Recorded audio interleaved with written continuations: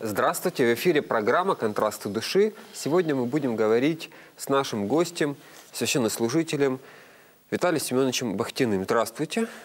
Тема нашей беседы сегодня – «Любить врагов». Это еще одна максима христианства, она сказана Христом, и для нас не очень понятно, как можно совместить этих два слова – любовь и враг. Что вы можете сказать о том, э, насколько это вообще приемлемо соединять такие слова совершенно из двух разных областей. Да, действительно, Христос в своей великой хартии вольностей, или как называется она еще, Нагорная проповедь, да, а, которую он провозгласил, произнес э, перед учениками своими, не только в присутствии большого количества людей, она именно так и звучит. «Любите врагов ваших и благословите, благословляйте ненавидящих вас и гонящих вас». Вот, э, этот принцип христианской жизни. Не так-то просто действительно соблюсти его. Э, и последний текст этой пятой главы, э, Евангелие от Матфея записано, это Нагорная проповедь, сказано, «Да будете сынами Отца вашего Небесного, который дождь посылает и на праведных, и на неправедных, и солнце обогревает и праведников, и грешников». Это принцип, который изложен Христом. Действительно, это сложное занятие. Любить. Вообще любить – это сложное занятие. Не только врагов. Вообще любить. На земле. Кого бы то ни было. Это очень тяжелое занятие. Ну, говорят, враги ему домашние его, знаете, есть такая фраза. То есть на самом деле, конечно, вражда – это одна из основных таких феноменов, в котором мы живем. С другой стороны, мы понимаем, что если бы не было войны, то не было ничего. Все хотят жить в мире, все хотят жить в безопасности, но на самом деле мы видим, что мы живем в современном мире и обладаем теми инструментами, которые у нас есть, те же часы, тот же мобильный телефон, компьютеры, спутники, э, все что угодно, вплоть даже до ткацких вещей, до одежды и так далее. Это все сделано военными в массе своей для войны. И мы сейчас пользуемся этим в мирных целях. Если бы не было войны, как понятие, то не было бы и прогресса. Отсюда понятие любить врагов наших, вот мне кажется, что если бы люди этим принципом пользовались, мы бы до сих пор были в пещере. А разве когда-то вообще люди жили в пещере? Разве ну, Адам с Евой жили в пещере? Э, Каин он, жил. А, он ушел в землю нот, ну, в да. землю блуждания.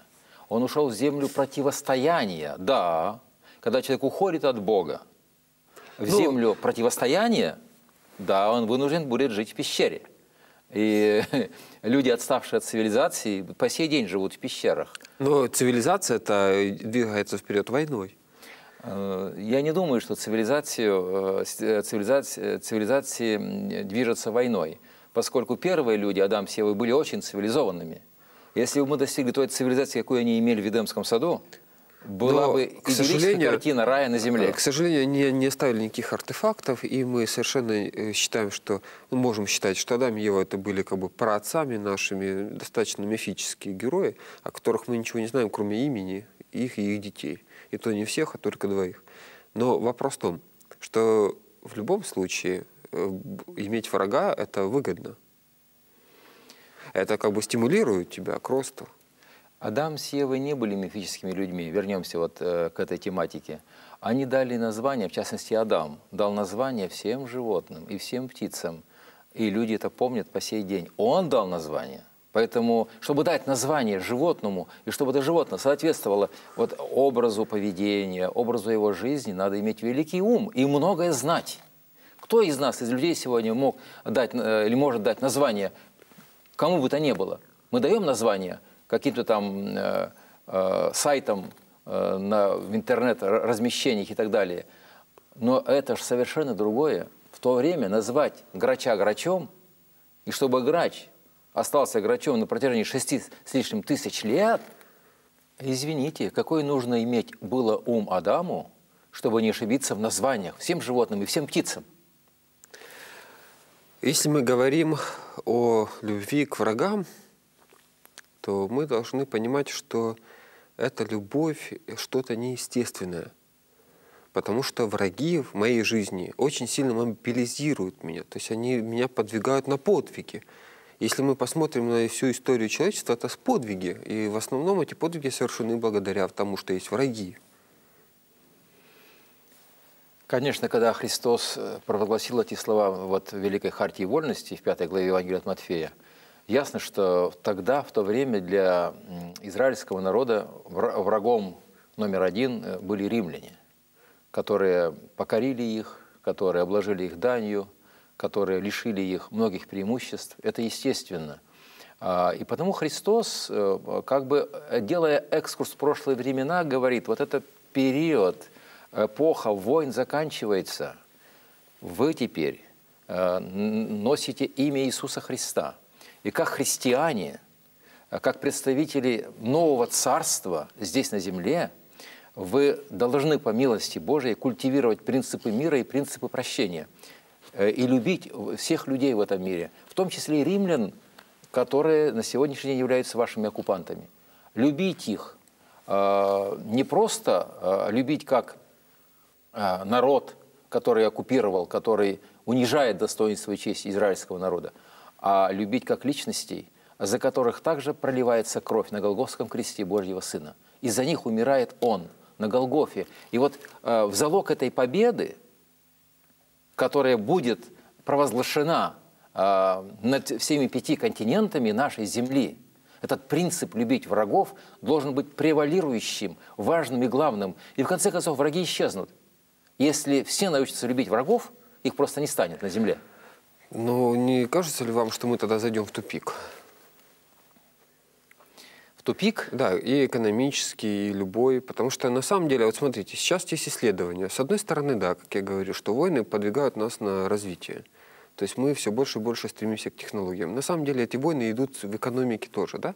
То есть каждая фирма, там Samsung или Apple или еще другая, да, они пытаются создать лучший и лучший планшетник. Они борются, у них борьба жестока. Они каждых полгода что-то новое изобретают. Это невероятно. Скорость, какой сейчас происходит изобретение, они существуют потому, что они друг друга не любят. Они у друг друга отнимают технологии, пытаются отнять рынки и так далее, и так далее. Мы этим всем пользуемся. Но мы любим или Apple, или Samsung, ну, без разницы, да, пусть это не будет их рекламой. Но мы-то любим результат этого. А Бог говорит, а ты люби врага. Враг – это как раз причина того, что происходит дальше. Люби врага своего. Что это может... Вот это слишком узкое понимание того, что войны способствуют развитию цивилизации – повышают экономику и так далее. В конечном итоге весь наш технологический прогресс, а, за которым так э, гоняются люди на этой земле, к чему он приводит? Если так масштабно посмотреть, взять Японию. Вот эти АЭС, которые были построены фактически вот на, э, ну я не знаю, вот этом вулкане, где постоянно землетрясения проходят. И вот результат. Что стало с Японией на сегодняшний день? Казалось бы, о, преуспевающая страна, о, но новейшие технологии, о, самые лучшие автомобили и так далее, и так далее. А что сейчас? Руины развалин? Если бы не было АЭС, давайте так поговорим. Я, конечно, не сторонник э, того, чтобы убрать АЭС совсем с нашей э, ну, планеты. Ну, кстати, АЭС называется мирный атом. Ну вот результаты этого мирного атома. Вот. То есть мы полюбили врага, атом, сделали его мирным. Вот теперь, опять же, но с другой стороны, с другой стороны, мы понимаем, что войны, которые идут сейчас в Африке в этом году, они ведут экономику к разрухе, к кризису.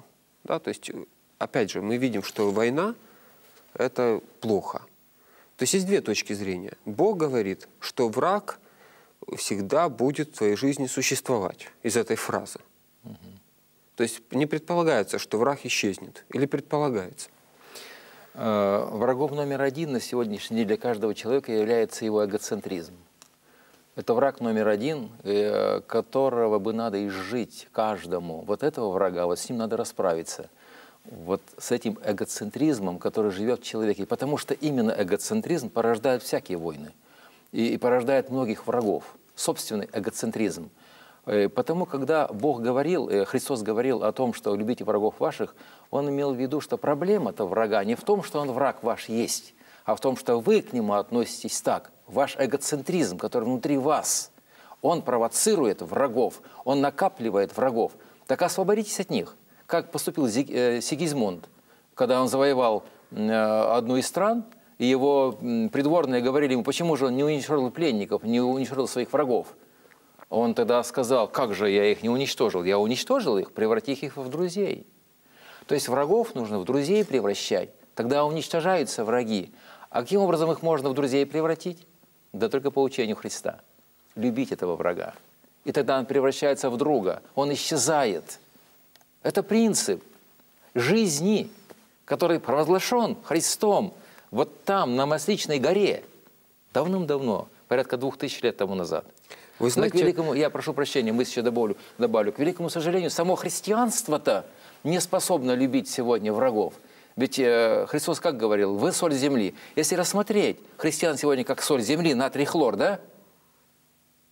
Добрая вещь соль. Но, к сожалению, великому эта соль разложилась в христианстве на два элемента. На натрий отдельно и хлор отдельно.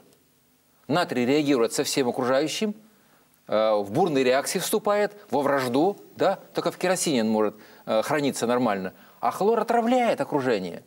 К великому сожалению, добрая вещь превратилась во что? Это в самом христианстве, к сожалению. Э, но Христос, на самом деле, да, нам дал пример того, как жить среди врагов. По сути, Христос пришел во враждебный мир к себе, и даже среди его окружения оказался враг.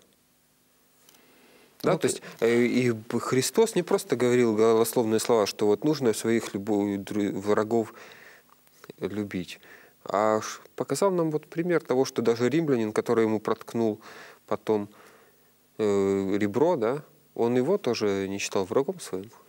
Но тот же римский сотник по имени Лонгин, который руководил казнью, он признал в Иисусе Христе царя и Господа славы, потому что он воскликнул, воистину человек сей был Сын Божий.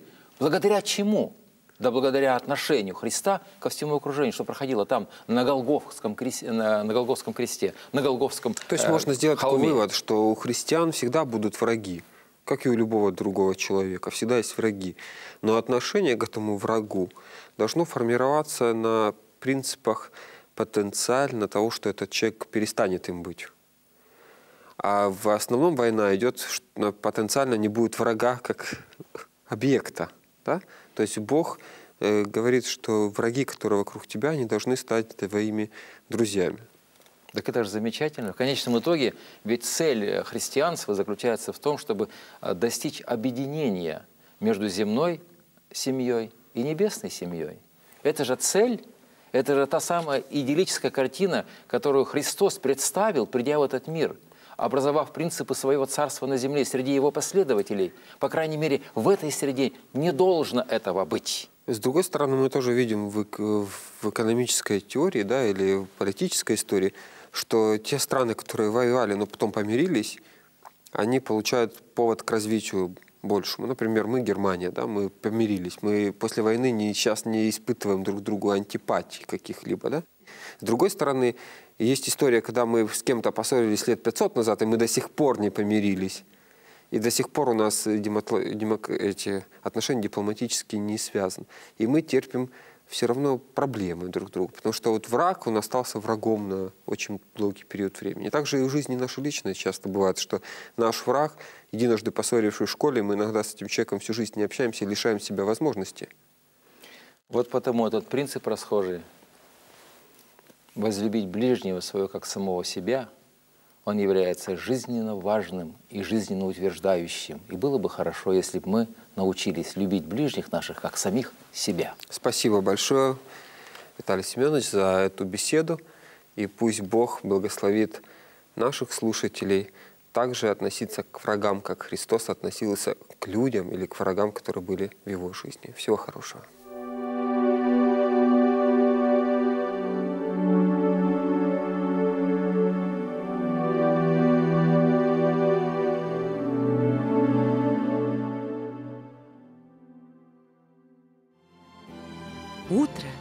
Это начало дня.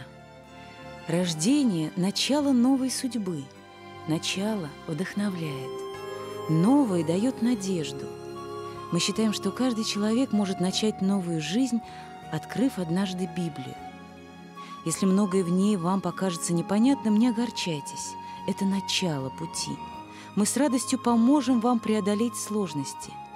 Заочные библейские курсы «Новая жизнь» – это изучение Библии по урокам, которые, по вашему желанию, мы будем вам регулярно, бесплатно высылать. Когда вы выполните половину уроков, мы пришлем вам в подарок книгу «Путь ко Христу». По окончании курсов вы получаете бесценный подарок – Библию. Заявки присылайте по адресу 603-028, Нижний Новгород, абонентский ящик 9. Телепрограмма «Лицом к лицу».